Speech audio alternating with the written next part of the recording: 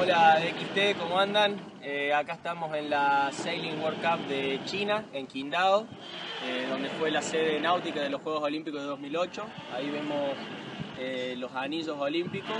Y bueno, acá estamos el día previo al inicio de la competencia. fuimos a hacer la última puesta a punto antes del campeonato, que va a ser, bueno, mañana el primer día de cinco días de competencia. Así que bueno, vamos a, dar lo mejor de nosotros para, para, estar en lo más alto de la tabla de posiciones. Eh, les mando un saludo y un abrazo y muchas gracias por la buena onda.